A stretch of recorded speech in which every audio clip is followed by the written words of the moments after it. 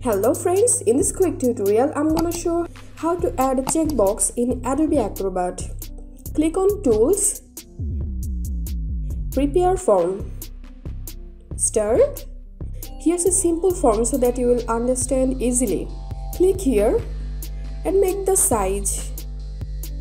Now follow me to customize this box. Now right click inside this box, Properties, Appearance, from here we can change border color, line thickness. We can change line style from here. I'm making fill color none. From this position we can change position of the box. Click on option. We can change box style from this list.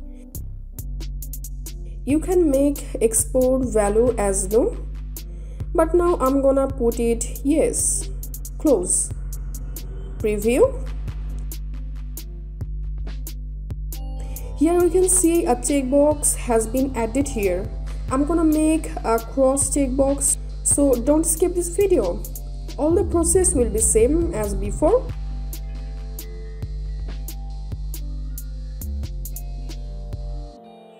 Just type here no and box style will be cross. That's it for now. If you benefited a little from this video then subscribe to this channel. Thank you